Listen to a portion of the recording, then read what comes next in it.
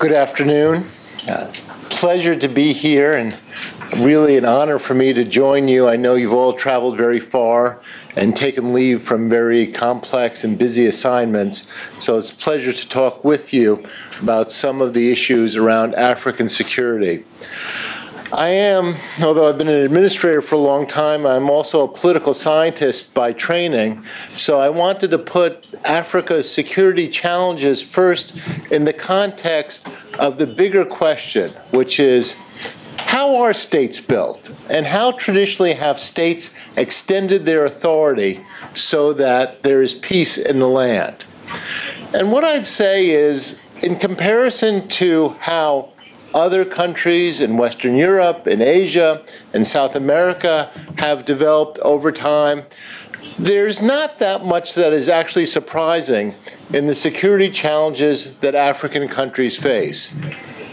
New young countries, and of course, most of your countries are a little more than 50 years old, traditionally face a lot of security problems because what is security at the end of the day? It is the willingness of the population to cede to the capital the right of self protection.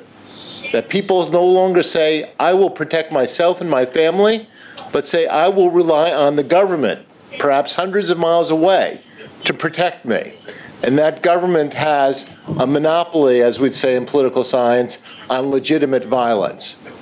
That's a very hard thing for people to do because people around the world will do anything to protect themselves and their family. And they'll only give up that responsibility and give it to a government, give it to military, give it to police if they're assured, and this is, goes to Joe's central argument, that the government is well managed. it takes a long time for this to happen. In the United States, of course, we fought a brutal civil war, which was notable for its bloodshed, given the um, military technology of the day 85 years after our independence. Okay, so that's longer than almost all the countries in this room have been independent. If you look at France, in 1850, more than half of the people in what is now territorially France did not speak French, not identified necessarily as French citizens. Over the century or so that's occurred since then, Paris has tried to cajole, convince, coerce people to become Frenchmen and French women. And even the island countries, which you'd think would be more natural countries, England, Japan, have long brutal histories of division before a central authority is able to impose peace. There's no such thing as a natural country all countries are artificial creations, and they have to work hard to get their citizens to con- be convinced that the government will protect them. What is unusual about Africa since independence for most countries in the early 1960s is that weak countries persist. If you look at the history of Europe, for instance, since 1500, the vast majority of states that existed disappeared. They were weak, so they were taken over by their neighbors, or they exploded and something else came along, or they divided up. But the trend in most of the world has been is when there's a weak state that cannot defend itself, it goes away. Since the end of World War II, and especially since the early 1960s, that has not been the case for a whole variety of reasons which I can't get into, but let's just say it's no longer acceptable in Africa or the rest of the world for a state to disappear through armed conflict. So, states which are palpably weak, which Joe referred to, continue to exist even though they cannot defend their own borders or even their own territory within the state. This is historically unprecedented. There's no previous period in world history anywhere where states that were weak continue to exist. So, Africa has avoided the European disease of 1500 to 1945 of continual interstate war.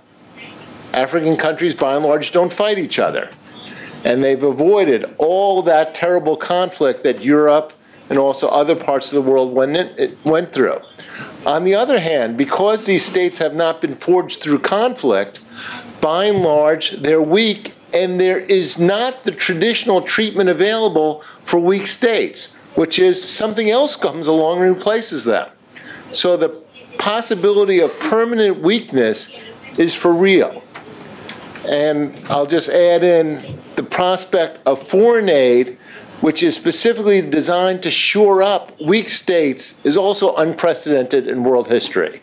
In the past, strong countries tried to take over weak countries. They didn't give them foreign aid to try to persist.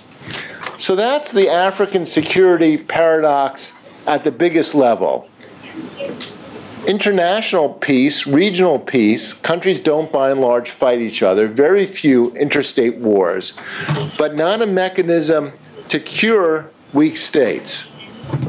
Now, what are the big trends in African conflict since the early 1960s when most countries received their independence?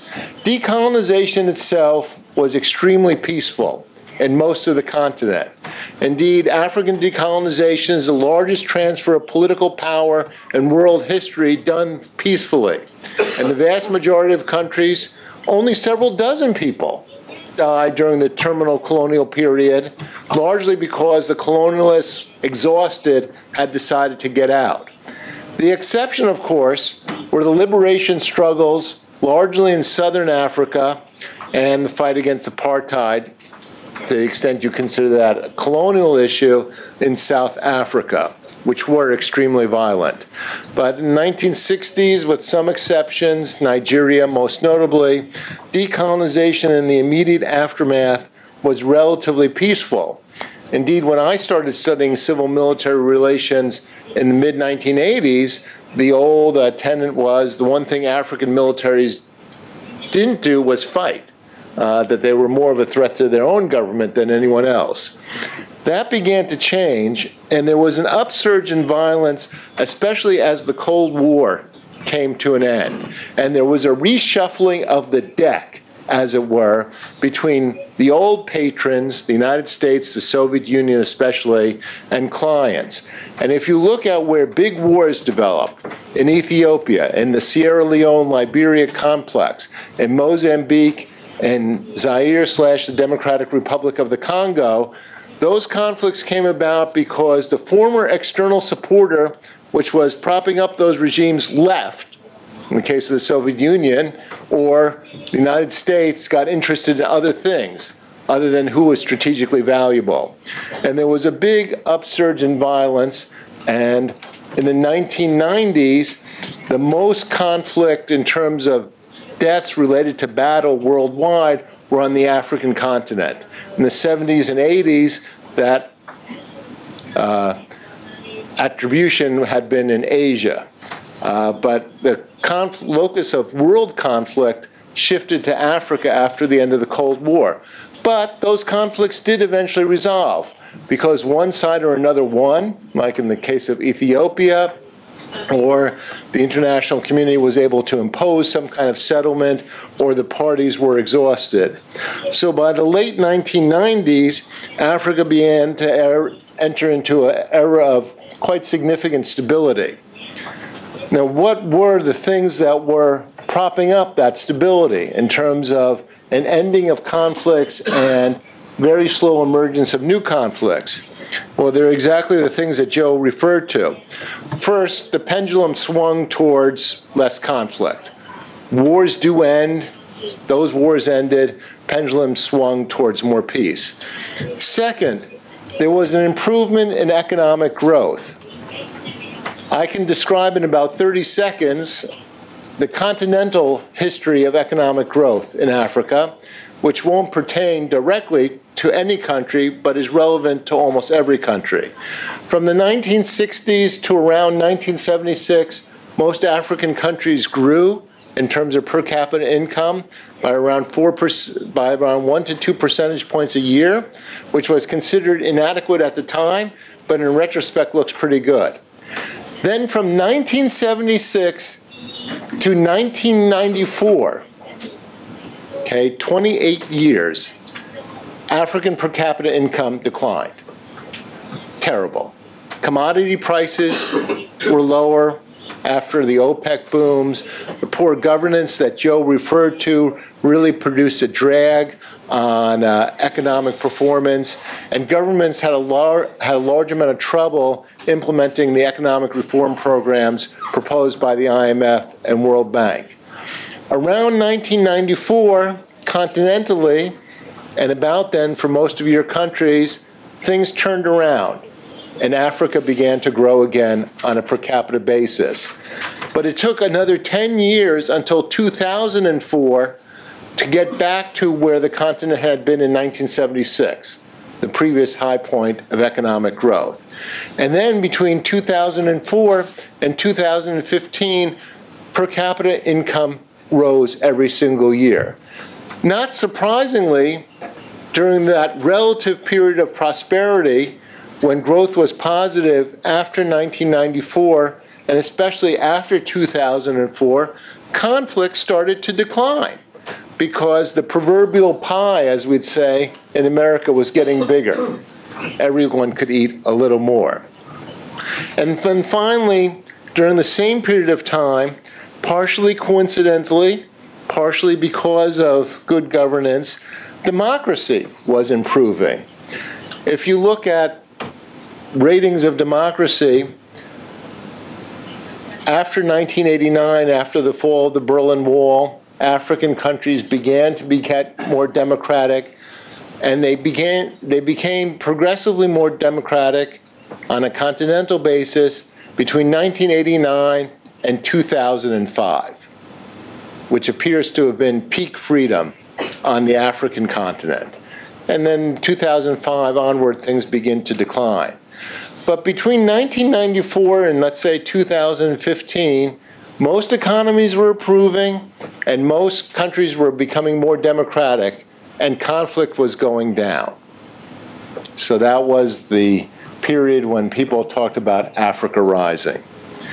What's happened since 2014, 2015, take your pick of the exact date, is conflict has begun to increase again.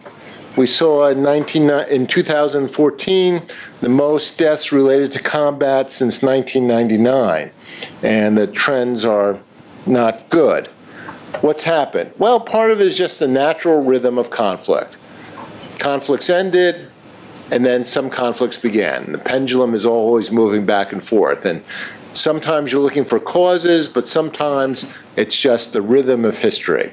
But also, the economics began to turn against African countries, especially as Chinese growth declined and the demand of China for so many of the commodities that Africa produces began to decline and commodity prices were lower. Since 2015, African growth on a continental basis, each individual country, different story, uh, has been negative on a per capita basis that is adjusting for population, countries are getting poorer. And it appears that will again be the case in 2017 and 2018. So what's available in what are still very poor countries is becoming less. And also, countries are becoming less democratic. As I said, peak freedom was probably in 2005, and we've seen since then the return of many authoritarians. Joe mentioned briefly the Freedom House um, classifications, very famous of free, partly free, not free. Only nine countries rated as free, and they've been pretty steady uh, since 2005. And the number of countries that are rated as partly free has gone down a little bit now. And once again, the not free category is the biggest category in Africa. Uh, and we've seen in a variety of ways that leaders have learned how to manipulate election processes and other uh, democratic forms so that while Africa still has the most elections of any continent in the world on a yearly basis, those elections don't necessarily promote a routine turnover of leaders, and many people are increasingly skeptical of uh, how democratic their countries really are. To give you only one example, in 2016, 12 African countries interrupted their internet in order to deprive the opposition of the mobilization through social that social media provides. Okay? One quarter of the continent. Last year, there were deliberate government in interruptions of the internet, ranging from a few days before the election to a long period of time, uh, in order to uh, defang the opposition. Uh, and that uh, indicates the complexity of the period we're in. So, what I think we're seeing is the factors which underpinned the relative peace of Africa, especially in the 2000s, um, are now going against us. Countries are experiencing less economic growth, they're less free, and I think therefore they're more challenged both in terms of arranging political compromise and in the very essence of state institutions.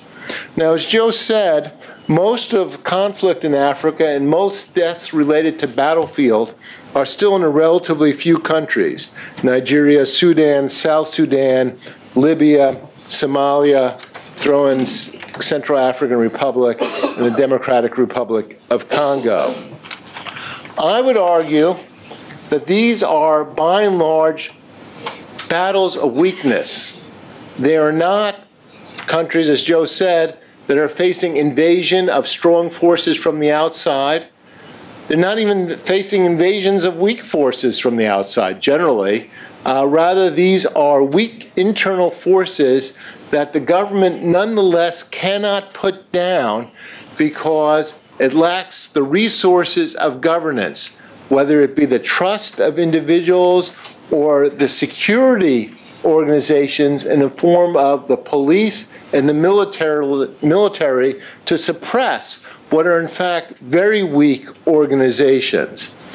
And this again differs completely from what we've seen in the rest of the world, where countries usually face stronger neighbors as their biggest threat. African countries that are in conflict, only a minority of them, but all countries have to pay attention to these trends, by and large are facing battles of weakness. Their weak governments are facing weak internal threats, and, but they cannot defeat them. But at the same time, the internal movements cannot defeat the governments. If you look, there haven't really been many changes of regime because of the conflicts that both Joe and I have cited. Uh, the last one that I think you could really argue for was Libya, and that was largely an external uh, intervention, not because of internal disruption, although there was internal disruption. Um, these wars of weakness tend to drag on because neither side can win militarily. The government cannot defeat reb rebels, which are almost always in rural areas, but the rural, rural-based insurgents cannot get into the capital and defeat the government in any significant way. So this is an argument, I think, that state institutions have to become stronger before conflicts begin in order to have the trust of people, but also to understand what is going on in their countries and to be able to present force against in possible internal threats before the wars really get going. That the African states themselves have to be made stronger. Now, as Joe said, there's been a revolution in how Africans provide peacekeepers to other African states. Uh, we've, in good part, realized the dream of, if not African solutions to African problems, then Africa providing a good part of the solution. But these peacekeepers are facing the exact same problem that a previous generation of American European peacekeepers faced in Africa, which is peacekeepers cannot they can potentially suppress some violence. They cannot build up state institutions themselves. And given very limited resources, either because the United States and Europe didn't want to commit much or because African countries don't have the resources to commit to peacekeeping, it's generally very difficult to impose order except in small states. If you took the, per, the peacekeepers per square kilometer that the international community had in Sierra Leone and tried to duplicate that in Democratic Republic of the Congo, you would need 250,000 to 300,000 troops. That's not going to happen. It's not going to happen from Africa. It's not going to happen from anywhere else. So the scourge of the big states, of big territory, is one which no one has been able to, uh, to uh, solve. So I think what we're seeing now is simply the ebb and flow of how states are created over time. And that it's hardly surprising that young states have immense security problems. No state is created and then the people are simply aligned with it. That's not how it's worked in world history. But what Africa uniquely has had to deal with is permanent weakness of some states because the old cure of someone else taking over, of becoming part of a larger state, is no longer available. And how to address potentially permanent weakness and the wars of weakness that follow is, I would argue, a fundamental security challenge that Africa will face. The other thing, and I'll conclude here, that I think as a future trend will be when do these battles become increasingly urbanized? By and large, there's still rural conflicts with some exceptions, as we saw tragically in Mogadishu a few days ago. Uh, but they're still in the rural areas. But as Joe said, an increasing percentage of the population is moving to the urban areas. And the cities will increasingly become points of contestation that the rural areas are now. And I think one of the big trends, I'll just leave this out here, of African security problems in the future will be the problems of security in the capital city and in major cities as opposed to the current time when much of the challenge is in the outlying rural areas. So happy to talk on this big issue for a few moments and uh, be delighted to discuss further with you. Thanks very much.